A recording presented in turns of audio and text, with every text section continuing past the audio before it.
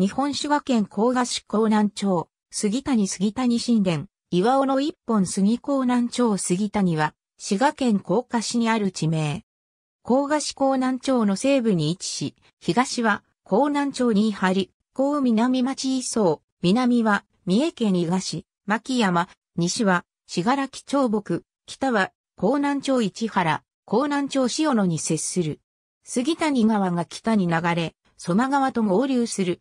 南北に滋賀県道132号江南山線が通じる。ほか、北東端を滋賀県道4号草津伊賀線が通じる。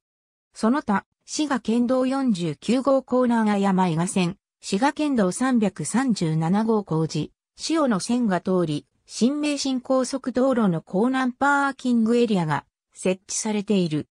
古墳時代後期には横穴式石室を持つ杉谷古墳が築かれる。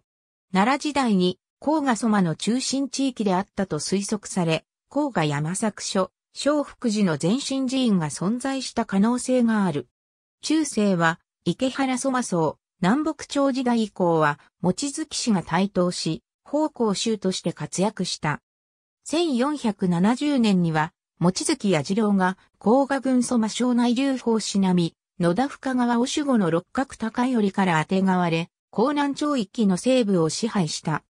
同氏は、六角義方、六角義春不死との関係を強め、1570年の安合戦で六角氏が敗北するまで六角氏の拠点となったと考えられている。